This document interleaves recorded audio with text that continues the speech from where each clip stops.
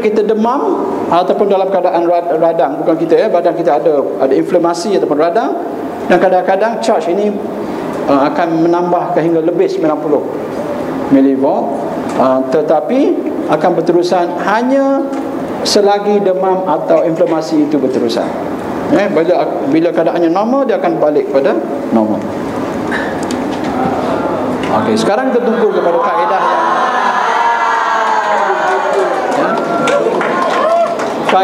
yang kita rasa dari segi apa yang kita faham tentang tenaga apa yang kita faham tentang bioelektrik ya dan apa yang kita faham dengan bagaimana sel-sel kita hidup dan berfungsi dan apa yang kita faham tentang bagaimana sel-sel kita sebenarnya berfungsi sebagai satu bateri yang kecil dan kita faham bagaimana charge yang yang berpatutan diperlukan untuk meneruskan keadaan yang sehat dan kita faham bagaimana charge yang rendah membawa kepada penyakit right? jadi kalau ada kaedah yang boleh memastikan charge-charge dalam ke semua 60 hingga 70 bilion sel kita ya, ditetapkan dalam keadaan cukup charge ha, maka patutlah kita cuba betul? betul Kaedah terapi medan elektrik ataupun electric field therapy juga dikenali sebagai pulse electrostatic therapy PEST. Itu PEST macam apa? Makhluk perosak. apa? Uh, ah, EFT lebih baik.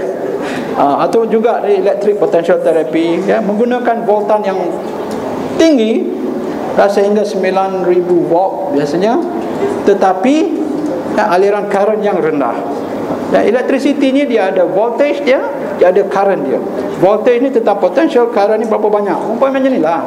Kalau uh, api, ya, ada api yang kuat, tapi kita terdedah sikit. Tak membakar kan? Orang sebab tu orang mampu berjalan di atas api bara panas tak? Kan? Ha? You ada api yang panas macam tu, you, you lalukan jari you, tak ada apa. Tak ada. Ha, tapi api yang tak panas macam tu pun cuba tahu lama sikit sudah terbakar. Eh? so kaedah ni ialah walaupun voltan tinggi current sikit jadi tidak membahayakan. Ya, dia mampukan menjaga menentukan voltan di sel-sel kita terjaga pada tahap yang sehat tanpa membahayakan badan. Sebaliknya sebaliknya kalau voltan rendah current tinggi nah, nah. Ha, ini saya pernah saya pernah pergi pergi pergi ke Beijing right? sebab satu usahawan daripada sini juga bawa, bawa saya ke sana uh, cuba menyiasat satu kaedah yang sebaliknya right? high current low voltage ha, memang betul-betul rasa